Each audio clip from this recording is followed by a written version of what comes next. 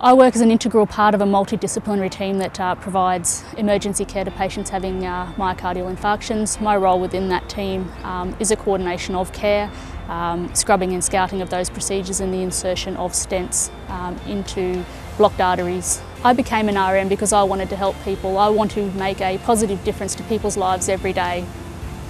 I like being able to have someone come in that is scared, vulnerable and sick and knowing that I can make a difference um, to their health, to their outcomes, not only to them but to their families.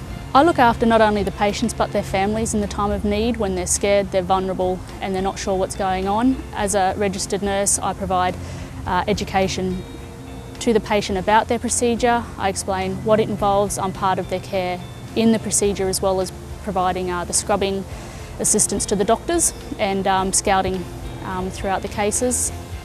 Within the team we're an integral part of that link between the multidisciplinary team of cardiac scientists and doctors and radiographers in ensuring that uh, the team works as a whole to provide patients with the best care that they can possibly get.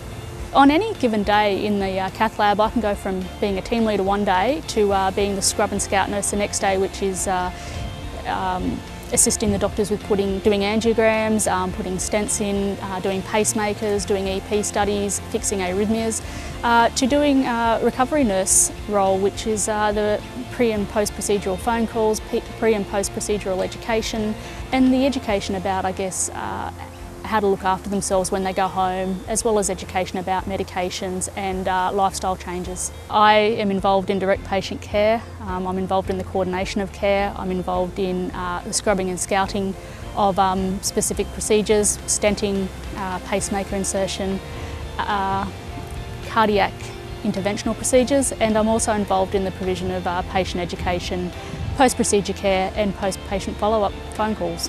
Uh, go and do it. It's a, it's a fantastic career and uh, it has its moments, it has its uh, hard points, but at the same time, the feeling you get when someone says thank you and you can see you've made a difference to that, that patient and to their family is, uh, is indescribable.